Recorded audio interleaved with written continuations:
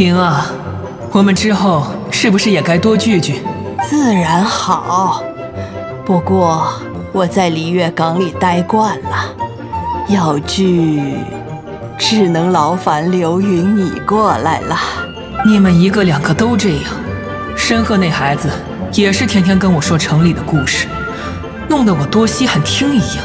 刘云，干脆你也住过来算了，这里陪你聊天解闷的人也多。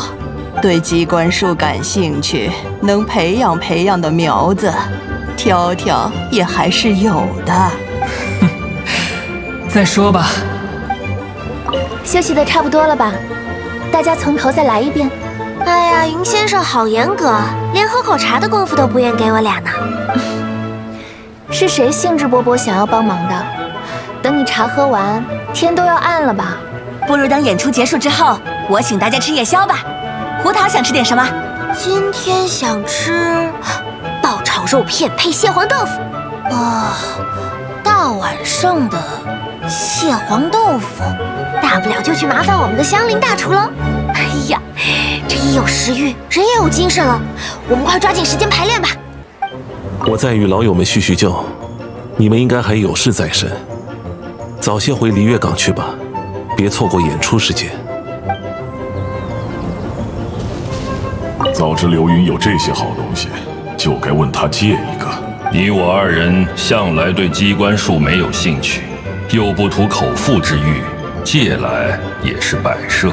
也不能这么说，我但凡能有些烹饪之法，申鹤那孩子随我修行时，又何必只吃野花野草呢？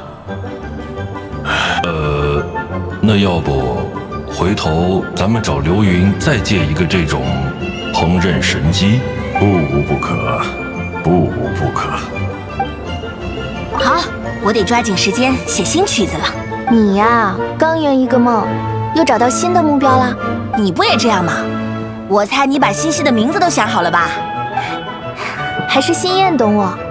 渡舟寻仙，听着如何？啊，好有画面感。这点题的一句我也想好了，就叫它。君天广月，云间彻响。太棒了，实在是太棒了！哎，听到云间有乐声传来的时候，我整个人都快呆滞了。它对我来说，具有某种魔力，嗯，或许该说是仙力。最后的合奏也非常震撼，要不是我人还在舞台上，可能都会哭出来。天玄星凝光小姐邀请我之后去玉京台详细探讨长期计划，真希望一切顺利，未来也能有这样的合作机会。哈，到时候你可一定要来啊！我给你留最好的位置。我已经和他当面道过谢了。他说，见人有难出手相助是天经地义之事，而你带给璃月港的精彩音乐更值得感谢与祝福。啊，真是令我受宠若惊，但我也决定了，一定要创作出更精彩的、属于我们这个时代的音乐。这海灯节真是一年比一年热闹了呀！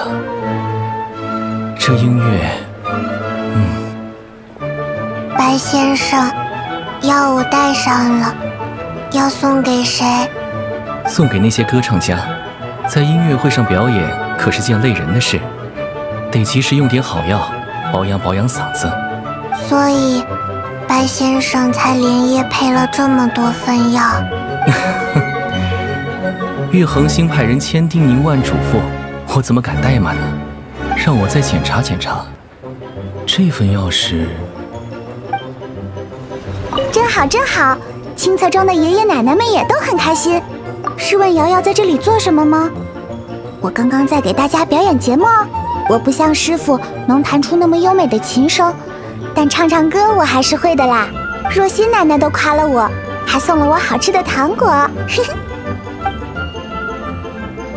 师傅从前和我讲过好多仙家往事，有着大大鹿角的宜霄叔叔，喜欢收集珍宝的明海叔叔。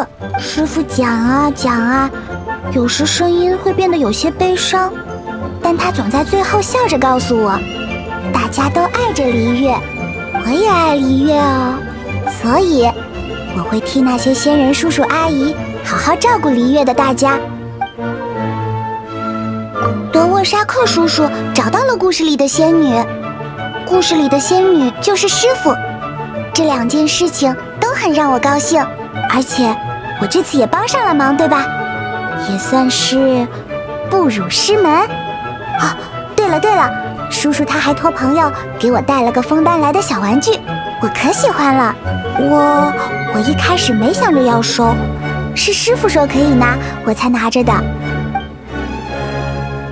姥姥，您弹琴真好听，你也教教我呗。我看你这孩子就是闲不下来，好不容易过节休息休息，怎么还缠着我教这教那的？放心吧，姥姥，我学东西快得很。我这不是想要早点学会，今后还能陪您一起合奏吗？为了我的演奏能够称得上您编的旋律，您可不要藏私啊。好，好，好，先帮我把茶水续上，放边上凉一凉。好嘞，姥姥。